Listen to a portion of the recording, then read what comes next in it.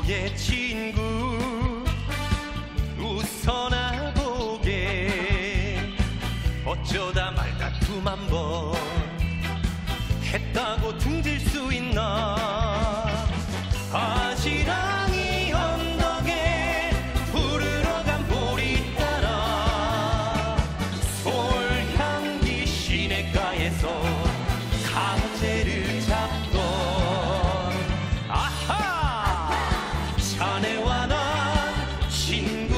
친구.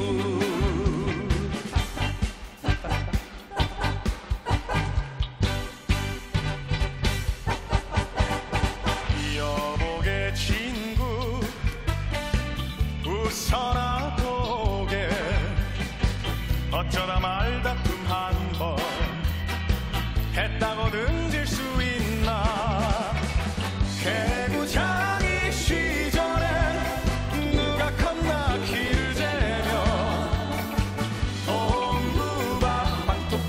방토길에서 꼼짝이 하던 아하!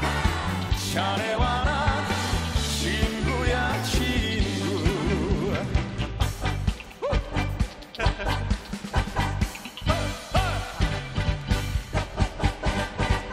여보게 친구 웃어나 보게.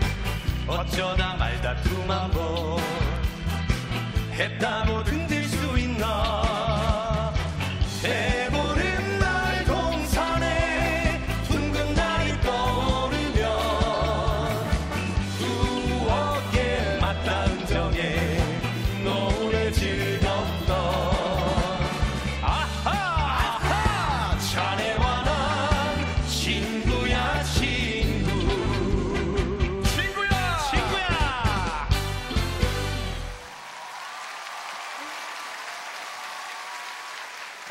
참 송혜야. 응.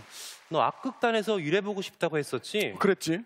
이번에 우리 동네에 창공 악극단이 들어온대. 그래? 너 거기 가서 일자리라도 한번 달라고 해보면 어때? 그럴까? 야 고맙다 친구야. 그러면 진짜 한번 가서 일해보지. 그래 가자! 가자! 가자. 될 거야. 어, 고맙다 친구야